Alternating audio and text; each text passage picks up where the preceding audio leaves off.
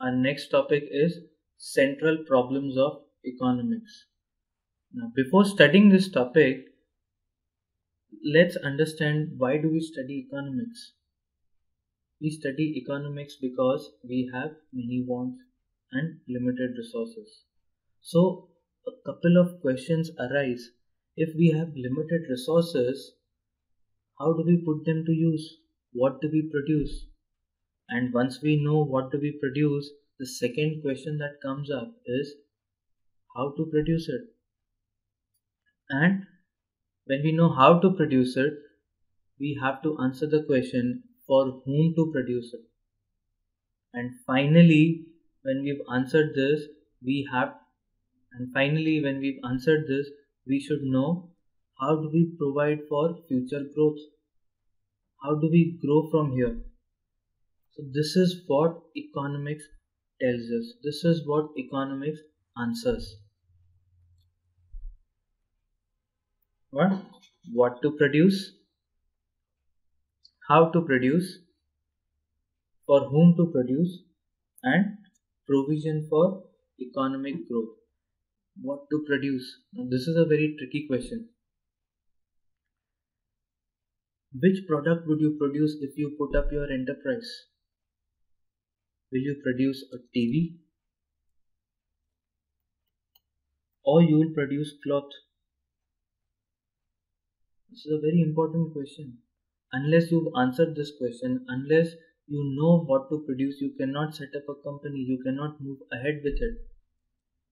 And once you know what you what you want to produce, you should know how do you want to produce it.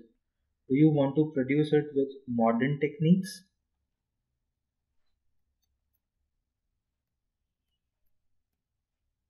That is the capital in intensive method.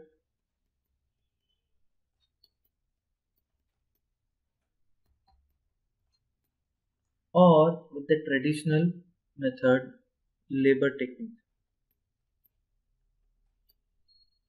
With the help of labor, that is the labor intensive.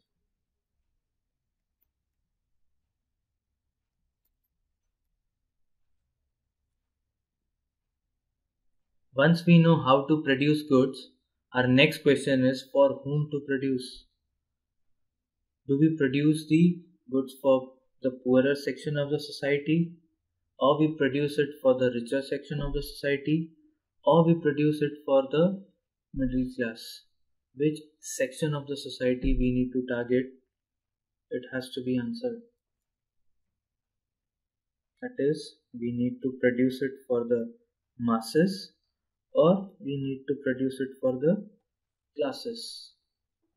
And finally, how do we grow?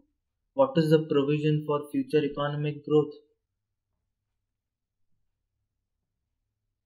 It can be by method of saving it can be by plowing back of all profits.